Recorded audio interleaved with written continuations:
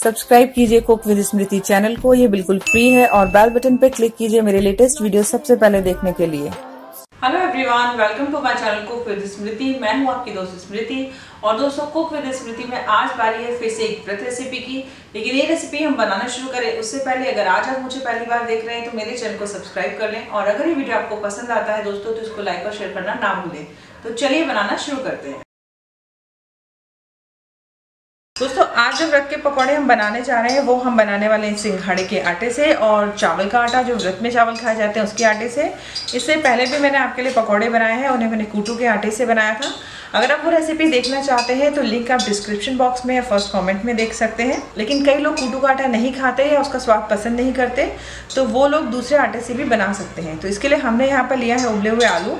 पकौड़े हम दो तरह से बनाएँगे। एक तो आप इस तरह से मोटे मोटे स्लाइस काट सकते हैं उबले आलू के और आप रफली फोड़ भी सकते हैं आलू को। दोनों ही तरह से बनाए हुए पकौड़े अच्छे लगते हैं काफ़ी स्वाद में।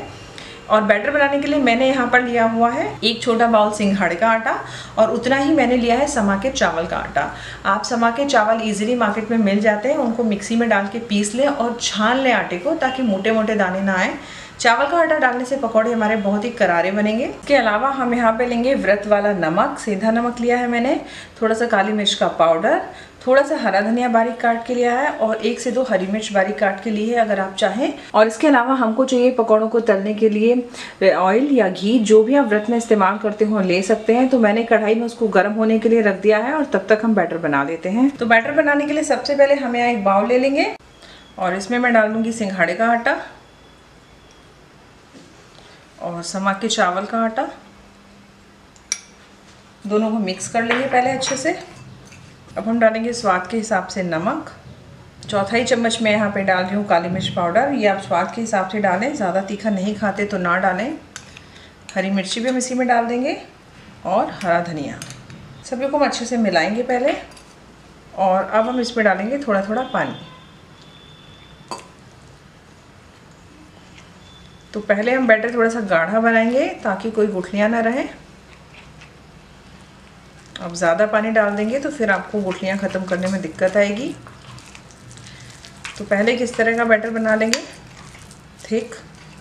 और अब इसमें थोड़ा थोड़ा पानी डाल के इसको पतला करते जाएँगे।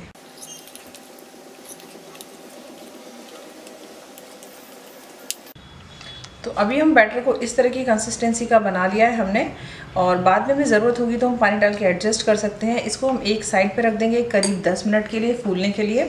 तब तक हमारा तेल गर्म हो जाएगा। तो पाँच दस मिनट रखने के बाद बैटर जो है वो थिक हो गया है, और अगर हम ऐसे को इस पर लपेटेंगे तो बहुत ही थिक कोटिंग आएगी। तो टेस्ट अच्छा नहीं आएगा, इसको थोड़ा पतला कर लेते हैं। बहुत ज़्यादा पकौड़ों पे अगर कोटिंग आटे की हो जाएगी तो फिर स्वाद आटे का ज़्यादा आने लगता है, जो अच्छा नहीं लगता। तो बस, अब हम इस बैटर में एक एक पकौड़े को डिप करते जाएँगे। तो दोस्तों, ये जो हमने स्लाइस करके आलू लिए हुए हैं, इनको सिर्फ़ आपको इस तरह से डुबोते जाना है।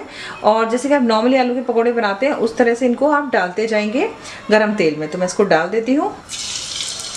पर ये जो आप इस तरह से आलू तोड़ते हैं, इनको क्या करना होता है?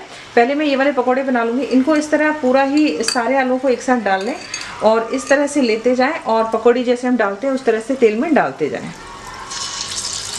तो जैसे का स्वाद आपको पसंद आए और बनाना आसान लगे, वैसे आप बना सकते हैं।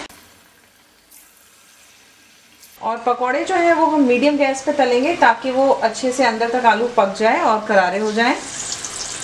तो जब पकौड़े एक तरह से अच्छे से सीख जाएँगे, तब हम इनको पलटेंगे। दोस्तों, मेरी बाकी सभी व्रत रेसिपीज़ को देखने के लिए आप प्लेलिस्ट का लिंक डिस्क्रिप्शन बॉक्स में देख सकते हैं।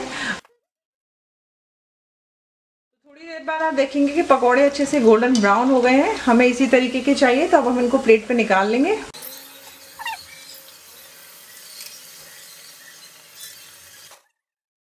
देर बाद हमारे दूसरे बैच के पकौड़े भी आप देखिए गोल्डन ब्राउन हो गए हैं, अब हम इनको भी प्लेट में निकाल लेंगे। एक साइड पे करके सारा एक्स्ट्रा ऑयल हटा दें।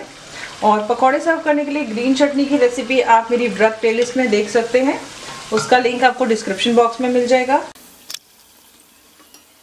तो देखिए दोस्तों, हमारे आलू और सिंघाड़े के आटे के कुरकुरे पकौड़े बनके तैयार हैं। ये वो पकौड़े हैं जो मैंने उबले हुए आलू को सर्कल शेप में काटा था। ऐसे आप गोल काट सकते हैं। ये देखने में काफ़ी सुंदर लगते हैं।